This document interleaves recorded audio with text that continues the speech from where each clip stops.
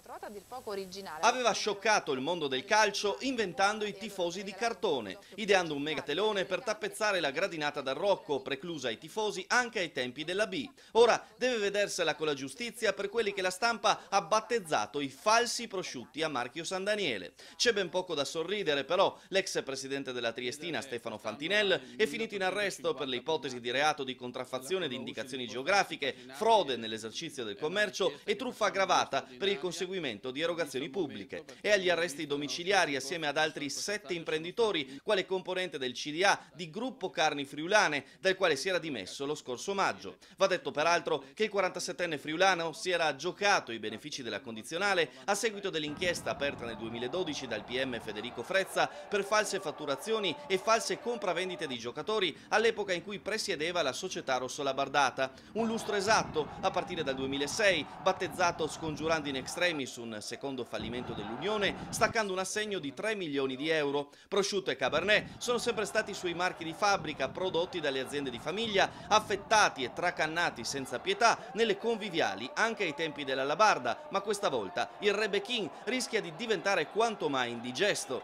Della sua avventura a Trieste si ricordano tre salvezze al cardiopalma, un ottavo posto e soprattutto l'affare Pablo Granoce e il Potrillo, l'uruguaiano pescato dal nulla che consegnò 24 reti nella prima stagione in B, diventando poi una gemma di mercato acquistata a peso d'oro dal Chievo. L'ultimo capitolo della sua vicenda legata alla Triestina si consumò nel 2014, quando patteggiò una pena di un anno e quattro mesi per bancarotta dopo aver versato 600.000 euro per l'inchiesta della procura sulla sua gestione della Labarda.